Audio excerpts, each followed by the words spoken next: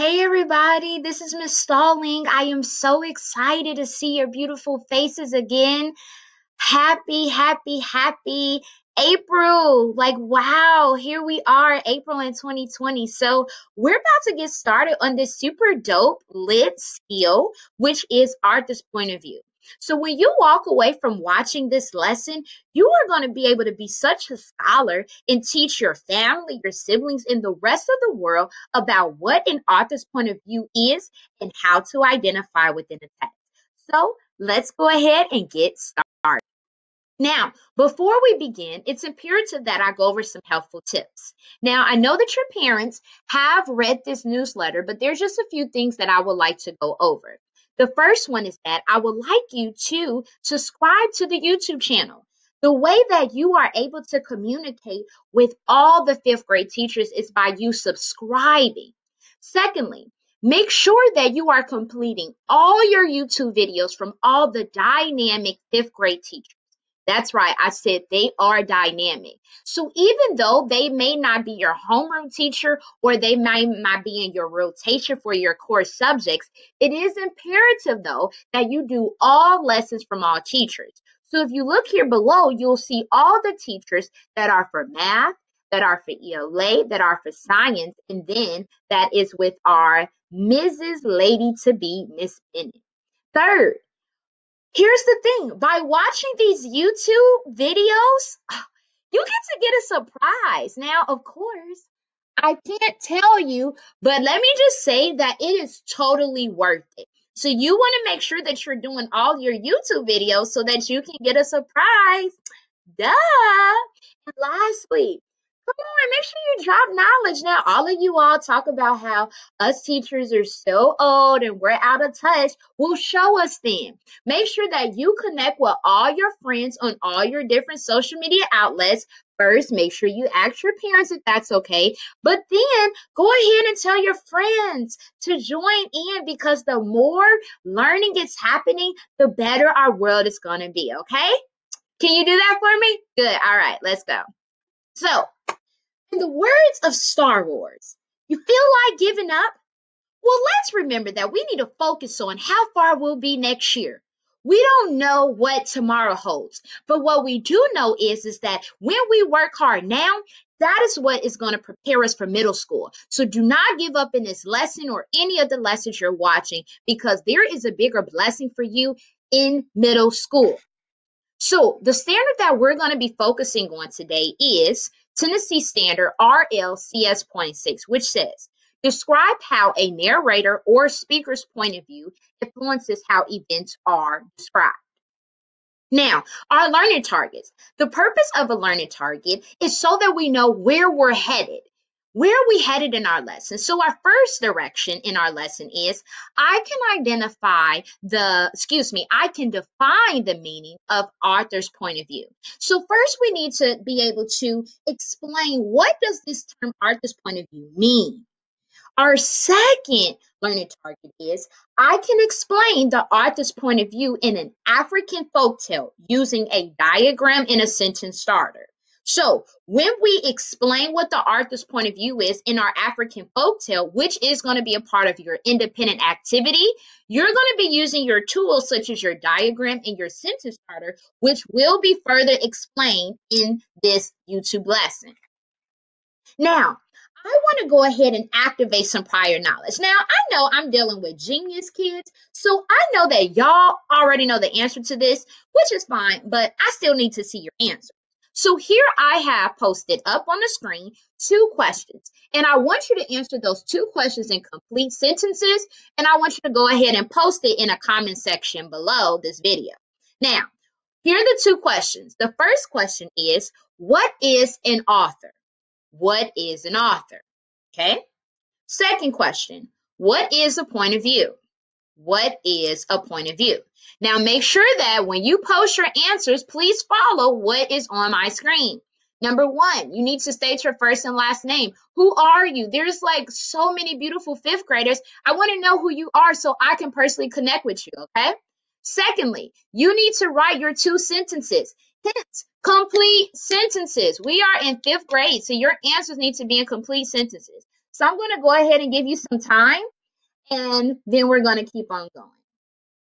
So I'm just going to just be nice and groovy. Got my timer up here to help us and pace us, all right?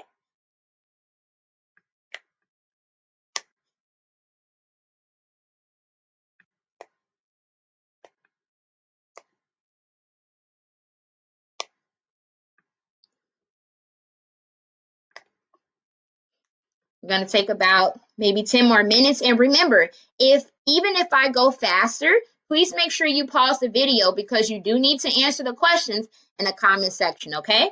You have about 10 more seconds and we're going to move on. But remember, please pause me if this is not enough time because I do need to see your answers in the comment section with your first and last name. And one.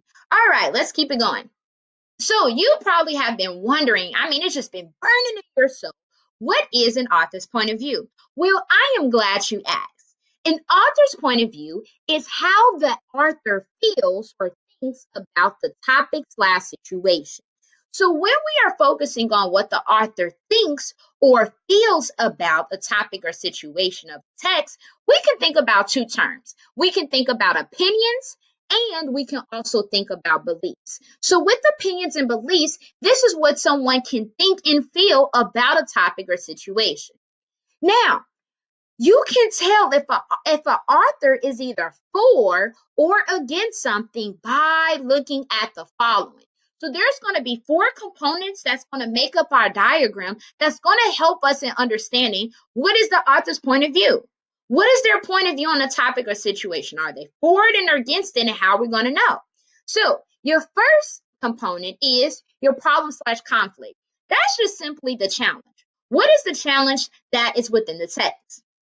Secondly, you have your character's actions, okay? What is it that the character is doing? What is it that they're doing or experiencing in the text?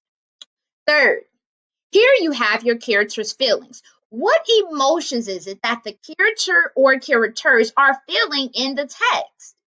And lastly, we have our fourth component. This is where we have our language slash dialogue. So I love this part because this is where we get to go on a Dora, Dora, Dora the Explorer. We get to go ahead and search for these little signal words or clues of words that kind of gives us a hint to these other components. So the good thing about being a writer, you get to be creative and giving hints to your audience on what you might think or feel without all the way saying it. And so I'm going to show you through a practice activity later on in this lesson. So this is how we find the author's point of view. Now, when we want to explain the author's point of view, here we have a sentence starter. Now, remember, you can always create your own. I just created this sentence starter so that it can be a foundation for you, but you can create your own, not a problem. So this says, I think the author's point of view of blank is that he or she feels slash thinks blank about blank. I know this because in the text, the author blank. Okay. Now, you might be saying, Whoa, Miss Stalling. Whoa. All right. I'm sorry. Okay. Well, here I have a recap. So we're going to simply recap what is the author's point of view. Let's go ahead and recap it. Now, I'm going to give it to you in layman terms. That means in a way that you understand exactly what I'm saying. So here we go. An author's point of view. It is what the author thinks or feels about a topic in a text. Now, there is a way that you can find the author's point of view in four components. The first component is a problem the problem slash content in the text. The second component is the character's actions. The third component is the character's feelings. And the fourth component is the language slash dialogue. Now, in our sentence starter, this is what we have to start off as our foundation. I think that the author's point of view of blank is that he or she thinks or feels blank about blank. I know this because in the text the author blank. Now, that is our recap of the author's point of view. Just want to put one little uh, pointer down here where it says think slash feels. You get to choose. You get to either talk about what you think the author thinks or what the author feels because that is what an author's point of view is. Now, Here's some questions that you might have, and I want to go ahead and address them because some of you all might be wondering this. Now, is the author is is the narrator and author's point of view the same thing? No, it is not the same thing. They're very similar, but they're not the same thing. When we think about the narrator, we tend to think about who is it that's in the story, right? Or the person who's telling it to a particular audience that uh when we think about the narrator's point of view it's what that narrator thinks or feels about the situation of text but when we think about the author's point of view the difference is we're thinking about the writer what does the writer think or feel about the situation? Not the person who's telling it or that's in the text okay? Next am i finding the main idea of the story if i'm looking for the author's point of view? No no no. It is important though that you know what the story is mostly about. So yes, it's important that you need to know what the main idea is of a text because you can't do anything with a story if you don't know the main idea. However, the process of finding the main idea and the author's point of view, they are completely different. They are not the same, okay? Now, lastly, will I have a practice activity so I can better understand the author's point of view? Absolutely. Our next slide is going to be our practice activity. So let's go ahead. Uh, second. Okay, here we are. So whenever we are in our left column, okay, here you will always have three directions. It's imperative that you read the directions because soon in your independent activity, you are going to have to make sure that you read the directions in order to be successful in your independent activity. So the first direction says read the text. What is the story mostly about? Second, it says fill in the diagram, which is what we're going to see uh, later on. Third, it says complete the sentence starter. Now, here you see this essential question. It says, What is the author's point of view of immigration? This is where we have our backwards planning. It's imperative that we know what is our essential question that we need to focus on. So when it's time for us to read, we kind of can figure out what information do I need to be storing that can help me to answer this essential question. So here I'm pulling up our text that we're going to read on today so that we can be ready. So I'm going to read as the Miss Stalling way so that we can answer our essential question. Here we go. In 1996, the day came when her dad decided to bring them to the United States. Leaving her town was hard, but it was important that her family stay together.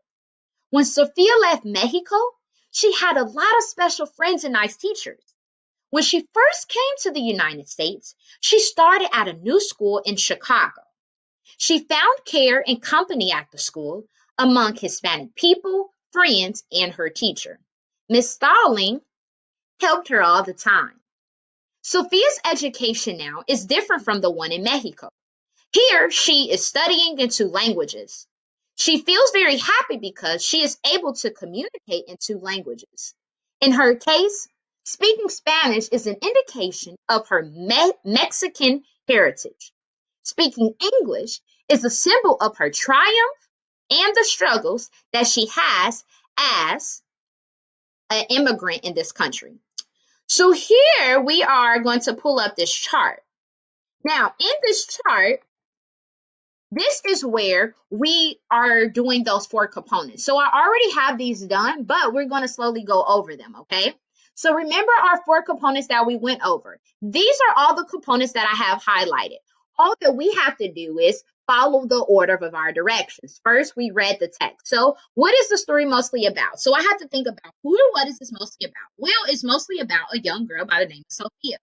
All right. What is the situation related with her? Well, I know it's talking about how she's leaving her home in Mexico and going to the United States. Okay. Third, what is the most important detail that sums up what Sophia is experiencing? Well, I noticed that she is at a new school and she is learning different languages, which is impacting her growth. Now that I have this main idea, now I can go on to fill in the diagram. All right, so here we have this diagram. These four boxes represent your diagram. So now, problem slash conflict. What is the challenge? What challenge is present in this text? What's the challenge? What's the problem? Well, if we look within our text, it talks about how she is having to leave her home in Mexico and move to the United States. So, excuse me, simply, we would state that leaving Mexico to come to the United States. Now, when you're filling out this chart, you do not need to write in complete sentences, but at least write in complete phrases so that you understand what you're writing. Next, our second component is character's actions. So what is it that Sophia is doing within this text that's going to help us to answer the essential question? I just can't write anything. There's plenty of action words and verbs in here, but are they connected to the essential question? You have to remember that. It is helping me understand what the author's point of view is on immigration. So, what is it that, what are her actions that will help me in understanding what the author thinks or feels about immigration? Well, one, I know that in the second paragraph, it talks about how she started a new school in Chicago. This lets me know that she is experiencing something new because Chicago is in a different country, which is in the United States. So I will go ahead and wrote that. Next, while she's in Chicago, well, what is she doing? Well, if she's out of school, what is she doing while she's at the school? Well, she's studying two languages, and I can find that within the third paragraph. Notice how I'm able to tell you where I'm getting my answers from. I'm not making any of these answers up at all. I have to make sure that whatever I'm writing in this chart, it is text-based all text based. So if you can support your answer in this chart and let us know, me, where this is in the text, that's not a correct answer or not the best supporting answer. Third category, thoughts, characters, thoughts slash feelings. So here it says, found help and care at her school. So when we think about thoughts or feelings, we're talking about what is it that she thinks about her, what is she thinking, what is the character thinking about these actions, starting a new school, studying two languages? What is she feeling now that she has moved from Mexico, which is her native home, to now the United States. What is she feeling?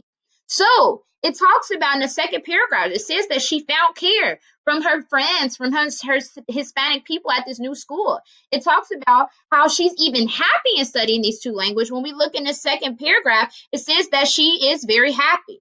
Lastly, in our fourth component, this is the language and dialogue. Now, I love this part because the awesome thing about becoming a writer is you get to be so creative. This is where you get to use those concrete and sensory details that we learned within module two and three to really have the audience to figure out what do you really think about what you're writing. So when we're looking at the language and dialogue, there are signal words and there are hints that are embedded in the text that the author gives throughout. It's almost like the author is dropping little diamonds on what he or she thinks or feels. That is considered our language slash dialogue. So it's basically like we're going on a trip and looking for those signal words, moving through the paragraphs. Yeah, yeah. Okay. So the example of the language slash dialogue that I wrote was was hard. This signals to me that this is some experience that is not like any other that the author wants me to know. Because if it wasn't, the author wouldn't have mentioned that. There are a lot of things that characters experience that may not be that difficult, but this one is. So this lets me know that this probably is very significant. So was hard. Another one that I wrote was she feels very happy. Well, I'm trying to find out what does the author think or feel? What is the author's point of view? What does he or she think or feel about immigration? Well, it says she feels very happy. This lets me know possibly what the author thinks about that character, which is going to help me to answer the essential question. And I could find this in the third paragraph. She feels very happy. I wrote it. Now, notice you're just writing the signal words that lead to what the author thinks or feels. So you do not have to write the whole quote. Notice it's just signal words or phrase. Lastly, a symbol of her. So if we look in this third paragraph, it says that speaking English is a symbol of her triumph in the struggle. So this is where we basically see that if something is a symbol, that means that this is a value. There is something that is important that has a lot of significance. And that is a hint about what the author thinks of on immigration. So there we have completed the chart. And now, next, here we have ours here we have our sentence starter. So now that we completed the chart, here we have our sentence starter. So it says, I think the author's point of view on immigration is that he or she feels that immigration brings new opportunities. I know this because in the text, the author describes experiences that Sophia went through that brought her happiness. So all I'm doing is putting this together. And if you need to see how to fill out the sentence starter, please go back to the following lesson. Okay. So now we have done all of our steps. One, we read the text, we talked about to ourselves orally, or you can write what you think the main idea is. What is the story mostly about? Second, we filled in our diagram, which is right here. Third, we completed our sentence starter. Okay. Now, now what we're going to do is here we are going to keep calm because guess what? You have an independent work time. So get ready because this next activity is all you. Miss Stalling is helping with nothing. Okay. So here, this is what you're going to do. Left column, you're going to read the text, orally say it, or talk to yourself about what is the story mostly about. Second, you're going to fill out this diagram of your four components. Now, you need to make sure that your diagram is a full sheet, whether it's in your notebook or loosely sheeted paper. It should not be this small. That's just because of the space that I have that's limited. Yours should be very big. Lastly, complete the sentence starter. Here I have the sentence starter, but you know that with the sentence starter, you can also create your own. So please take this time to go ahead and complete it however long that you need. And I'm going to tell you what you should do when you're done, okay? Now, once you have completed the diagram in the sentence starter, make sure you take a picture of your work that has been done, and I want you to send it to my Google Voice number that is right here on the screen, 901-295-9316, okay? Make sure after you completed your diagram and sentence starter, you take a picture of your work and you go ahead and send it to my Google Voice number. I can't wait to receive every single student's work. All right, I want to go ahead and thank you all for making it to this journey. I hope you all learned so much, and I'm looking forward to seeing you next week. Talk to you later. Bye.